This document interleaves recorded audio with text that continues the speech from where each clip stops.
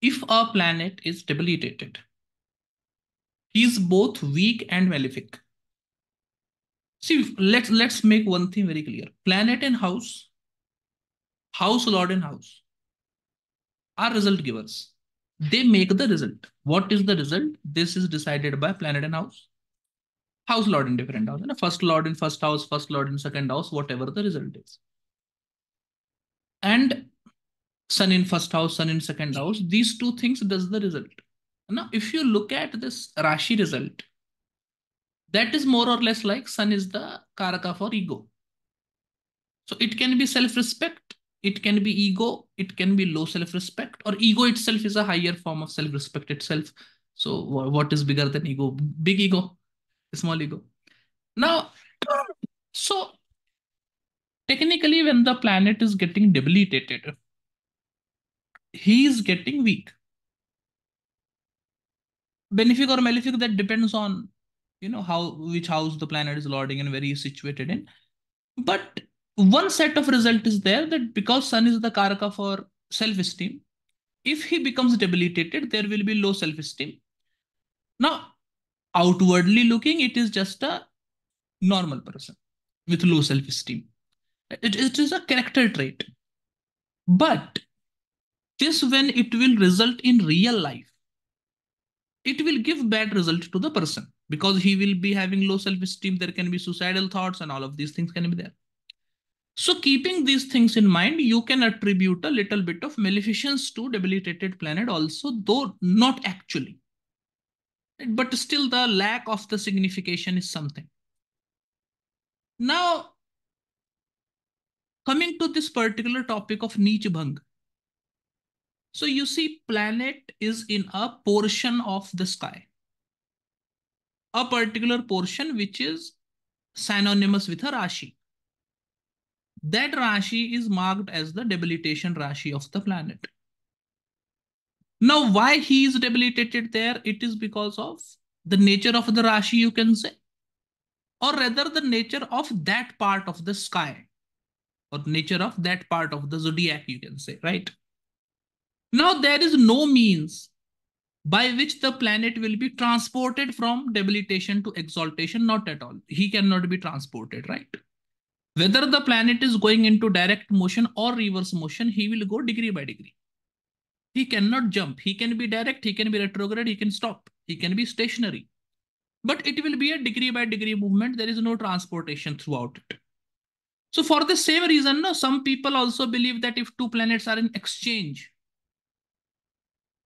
planet A and planet B is in exchange, then imagine that they are in their own rashis. Why imagine? Transportation technically cannot happen. Planet is where he is. Right, I have the same opinion on planet on zero degrees and one degrees also. If you see a planet to be on zero degree, it is on zero degree.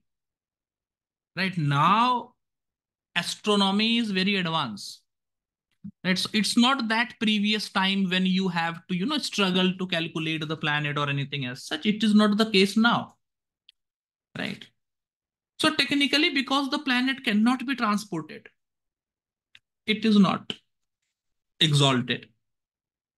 So number one confusion what we are having that if a planet is debilitated and he is getting Bhang, he is exalted or powerful for that matter that he's not he is just not debilitated now. Right?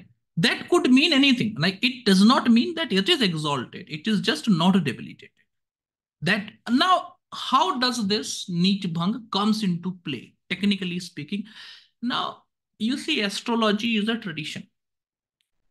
So initially, who started it, you don't know. But as we do with all Nigam, we imagine that it came from Shiva, it went to Rishis, they made their contributions to it. So generally the thing is that I will talk about what previous people, for example, in this Jaimini course, I am talking what the Jaimini have told. What I believe to be true intention of Jaimini, adding this with my experience. Now later on, people after me may or may not take my experience, but if they are taking my experience, they should take my name also. For example, if I am teaching you Jaimini, I am telling you that it is Jaimini. So whatever be the case. So in this order, when you see up to 10th to 12th century, there is no mention of 10th to 12th AD. there is no mention of Neech Bhang or Viprit Rajyog at all. Later on, it is included. But the problematic part is around 10th, 11th century, it is getting included into it. These people are putting their opinion and generally what happens, suppose Parashar is putting some opinion for the next 400, 500 years, people keep on mentioning it because it is in the testing phase. After 400, 500 years, it becomes a standard norm. Then everyone accepts it. 400, 500 years are enough for testing. Now this is introduced in 11th century around and in 15th century, the tradition gets disrupted. Invasion starts happening in India. So there is no way in which it can be substantially put that now this is a principle. And at any given point of time, it is not a principle from the Rishi at all. If you are taking BPHS, useless and authentic book.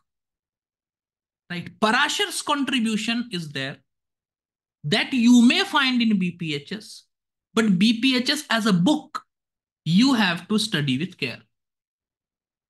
Parashara's contribution is there that you can see at multiple places. BPHS is a major source, but dependability is dubious.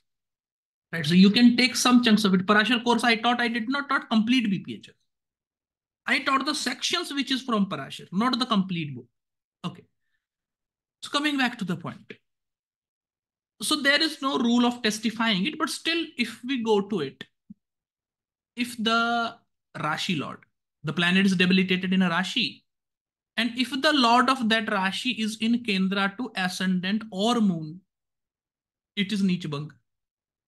This I understand, okay. If the planet is giving any result in Rashi, that is also because of the Rashi Lord, though not entirely because of the Rashi Lord. Aries is everything. Like Aries may include things of Mars. Aries can be aggressive because Mars is also aggressive, but then Aries is a ram, Mars is not. Mars is commander in chief, Mars is a human. When you come to Scorpio, the distinction is even greater. Mars is a fiery planet, Scorpio is not a fiery Rashi. So a planet makes the Rashi he owns a little bit of it, not more than that. But still, if we are, but still we can say that if the planet is getting power in a Rashi, it is also because of the Lord. Now, it's not like if Venus is powerful, then Sun will be more debilitated or less debilitated. That is not the point. Sun in Libra is a debilitated Sun. And it does not matter much regarding what is the condition of Venus. So here it is very unauthentic. Just we are saying that if Venus goes in Kendra from ascendant or moon, you know that Kendras are powerful places. Planets in Kendra to Atmakarak gets a support 100% strength.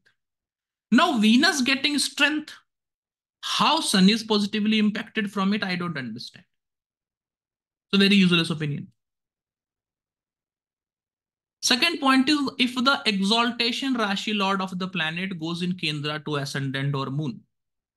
Now, exaltation Rashi, until and unless the planet is situated there, what is the purpose of exaltation Rashi? I also don't understand. Right? If the planet is not situated there, then it is of no use. Right? Any planet keep on going anywhere in this particular scenario, though all the nine planets have influence on all the other nine planets that you can say, but this is not the way you will use it.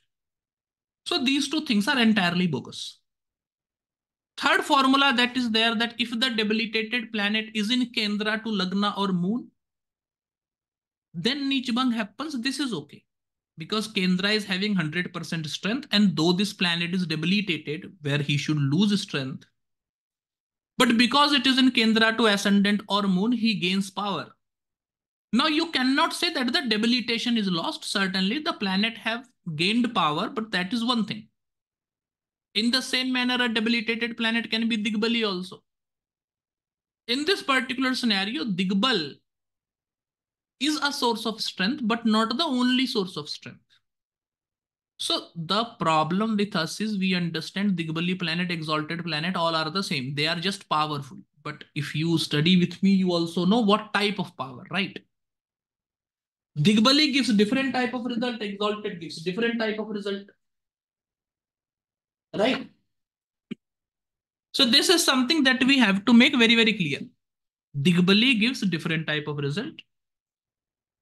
exalted gives different type of result. So even if the planet is coming in from coming in Kendra to ascendant or moon, the planet is well supported to give his result. Well supported to give his result means if I am saying that a debilitated sun will give low self-esteem, that he may not give because he is well supported and the result of sun will come. But this sun, if the sun is fourth house lord and he is debilitated, he will give weak properties, properties which have less value. And this result does not change. So only the signification related results are uplifted a bit if the planet gets strength from other sources, getting directional strength or going into Kendra from ascendant or moon. But the real result, the house result of the planet, the Rashi, uh, the house result of the planet and house lord result of the planet does not get changed. So this is something that we have to keep in mind. One more thing is there that if the for a debilitated planet, if the debilitated Rashi Lord itself is connected to the planet, aspecting the planet, situated with the planet, then the debilitation is lost. I don't understand how. If the traits of Venus are causing Sun to be debilitated, then the connection with Venus should be more debilitating. But that is not taken. Somehow it becomes exalting. God knows for what reason. In this case, I will say that, okay, if Sun is connected to Venus while being debilitated, he is connected to the Rashi Lord. In which case, if they are in same Rashi, then whatever is the result, that result you should predict. Sun Venus will give a bad marriage, and depending on the house lords they are becoming, there is a connection that you should predict. Right? If they are aspecting each other, then because sun is in the Rashi of Venus and it is influenced by Venus, it makes a positive connection between Venus sun. And it will give a positive result. For example, you say Venus is the Lagna Lord, Sun is the 11th house Lord. This may make a Dhan Yoga. This may make a wealth combination, but then still the planet is weak. And there is no contribution to strength at all. Another thing is if the planet is aspected or conjoined by the exalted Rashi Lord, then this is Nichbang and this is once again bogus because if the planet is getting debilitated in Rashi, then how a connection with planet uplifted? We should simply say that if Venus is with Sun, then the Sun is debilitated. This we are not saying it is a Rashi based result. And planet, as I told before, does not entirely represent a Rashi. So even if Mars, the exaltation Rashi Lord for Sun, is connected to Sun, it should be seen as a connection between Mars and Sun only, and it have nothing to do with uh, Nichbang. So prima facie, Nichbang is useless. It cannot happen to a planet. Neech planet is also malefic result giver that he will be. The weakness of the debilitated planet can only be taken care of if the planet is either having directional strength or going directly in Kendra to ascendant or moon. But in that scenario also, the type of strength that the planet is getting is a different type of strength and is not a substitute for the strength that he's losing by being in debilitation. So this point is very clear. Some principles are very illogical. and I don't think of logic when the principle is propounded by a rishi. How can a connection between 9,000 and 10,000 be a Raja Yoga 9th is 12th to 10,000? Here I will not take logic because it is a pure Parashar principle, well accepted. Even in fact, not from Parashar, from someone else that we will talk some other time. It is a well accepted principle. There I will not use logic, but this principle of 11th century, I will use logic. So this is thing one. This same goes with Viparit Raj Yoga also. So what is the word Viparit here? I don't understand. The Rajyog means power. Easy life. Rajyog means, Raja means king, Yoga means kingly combination. So technically what a king is having, king is having a lot of resources. King is doing nothing, people are giving him taxes. So you first take money, then you work. You are at that level in your profession where you can demand money first, then work. So this is Rajyog. Some people have to work first, then demand money. So you are at a powerful position technically, right? That is what the king is doing. You give me tax. I will do something for the country. It may or may not directly impact you. That is okay. If the government is taking money from a shop owner and saying that we will give good roads, people can come to your shop it's not like i will give you a complete thing of that you have given me this much money and this much money i have put into a road in front of your shop this is not there so two things are there first of all you are at that level in your profession where people are paying you beforehand and second thing is that you are not responsible for what you are doing. It may or like people have to give you money. You are at a good status. Then you have multiple servants. You have good advisors. Technically, you are living a kingly life. Money you are having, resources you are having. You are at a good position. This is what the Raj Yoga is. Right. If the planet is powerful, Raj Yoga is there. Or if the Kendra and Kona Lord are connected with each other, then also Raj Yoga is there. Okay, I understand.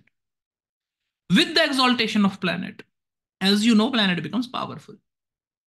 So if Venus becomes powerful, Venus being the significator of luxury, you are very luxurious. You are having multiple things related to luxury. So compared to a common man who is living in a rented property, if you are having a luxury home, of course your name, fame, status is high. So you will have multiple servants also to take care of the home and wherever you go because of status, people will respect you. You will have many people to serve you. This is well understood. With Venus, you get more luxuries, okay? With the connection of ninth lord and tenth lord, tenth house is profession, ninth house is luck. So technically you are lucky in your profession, right? So three type of people are there. Person number one opens a shop. Person number one opens a shop somewhere. I was recently reading about an actor. Many such clients are also there. So he said that back in 2018-19, I wanted to take a break from acting. And I purchased property and planted 15,000 trees there. But a famine came and all the trees were gone. After that, this corona came and now I am completely bankrupt. I have to find work again. This is bad luck. You have done something and the God is against you. Bad luck. Right. Then Second is a normal luck person, right? not very strong luck, not very weak luck. This is a shopkeeper who is having shop in a street, a very narrow street. And he is getting people there. But he understands that if I am having my shop in main road, then it will give me more money. In, in this small street, in this small lane, people are not willing to come. So this person will go to a main road and he will have more people unlucky person when he goes on the main road there will be theft in his shop this person will survive but he will have to go to the main road and he will have to take the hard work of you know going from home to the main road every day and have to maintain the shop and all of that xyz fortunate person is the one who is having a shop in the lane where many people are flocking. So fame will come. This person will have his shop in the like you know the most congested of the lane. Still people will flock him from places. There are many people you know there are many shops where people visit after walking multiple kilometers because it is very famous it, it is very popular this is a very fortunate person. So when the ninth lord of fortune is connected to 10th house of profession you are very fortunate in the matters of profession. So you are having raj yoga. Whatever you are doing people are accepting it. Whatever you are making people are accepting it. People are using it, enjoying it, you are having fun. When the same ninth lord is connected to fourth house, you are fortunate in the matters of property and vehicle. You have multiple properties, you have multiple vehicles, so much that if you sell one property every year, still it will suffice. So you don't have to work. Just keep on selling the property, keep on putting the property on rent and multiple vehicles, you are having no problem. This is setup number one. Fifth house, on the other hand, is intelligence. You can say good luck also, but luck is more related to the ninth house. Fifth house, directly speaking, is intelligence. So when the fifth lord is connected to fourth house, your intelligence is working with respect to assets that you are having. And a land property is asset. So your intelligence is working with respect to asset and you are investing in them properly, getting money, you are having Rajyog. Fifth house also indicates foresight. When it is connected to 10th house, you are very futuristic. You have good foresight in your profession. So you can make a revolutionary application or you have very good ideas about market, how the market will go, how it will fluctuate, how it will not fluctuate. You can prepare products beforehand and you will be at the top of your profession. These things I understand. Abhi come to this Vipreet Rajyog setup. Who told it as Vipreet Rajyog? I am still finding that this is Vipreet Rajyog or anyone who must have attributed good result to it. I am still finding that person and not able to find to be very honest with you. But still, chalo, one day I will find. Detective being detective is not my duty. Abhi, if the sixth lord is going into 12th house 12th lord is coming into sixth house sixth lord is going into eighth house eighth lord is coming into sixth house eighth lord is going into 12th house 12th lord is coming into eighth house it is vipreet rajyo supposedly what does vipreet vipreet which technically means reverse what does it mean here reverse rajyog according to me it should mean that the meaning of rajyog is reversed. That means some may be happy in having a lot of wealth. Another person is saying that i am very happy i am having good freedom because i own no home no property no vehicle no clothes to wear i am very free. I can go anywhere. If you are saying this is vipreet rajyog the person is happy having nothing then many people are delusional. This is one more delusional person. What we should do with that one may be very proud of not having a home or not having good supporters or not having a good family. One can be very proud of that but in reality it is something we should sadden him. If this is not saddening him it is his problem. Reality does not change by it at all. Right? Such people are cheating themselves of kisi ki kya burai karni whatever is the thing. But that's not the point right? That's not the point that you are saying. Now what we are attributing? we are saying कि भाई twelfth house is expenditure six house is enemy disease two things let's take enemy and disease prime two things so you are saying that if lord of expenditure is coming into sixth house you your enemies are spent or your disease is spent do you interpret astrological things like this Absolutely no. You don't do it.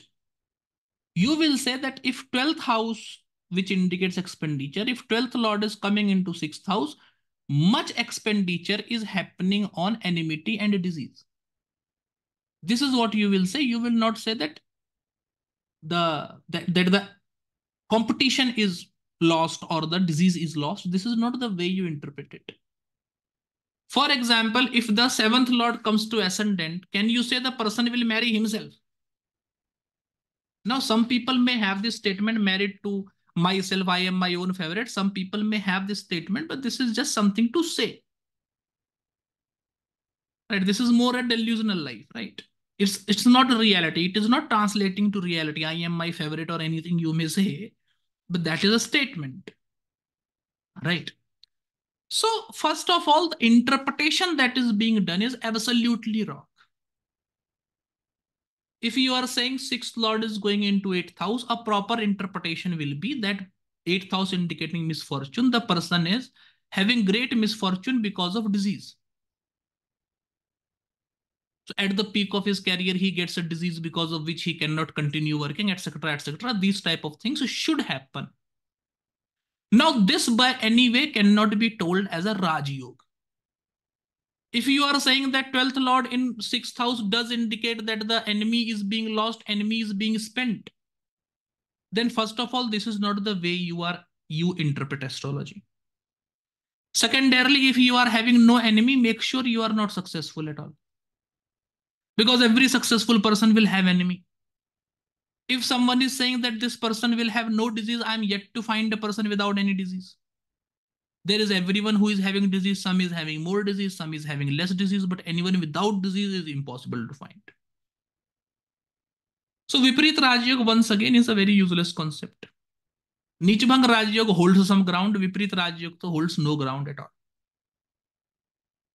So for the beneficence of the mankind, these things should not be used, neither should be propagated otherwise bad to the astrological world will happen then you know 100 to 100 years from today people then the children will take our example that our ancients used to predict very great now we cannot because such principles देखो होता है क्या what I have understood such principles get much hype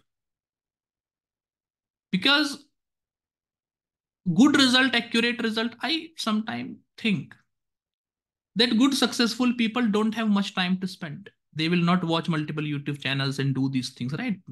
The person who have to know they know they will take a consultation they will learn they will do whatever they will do.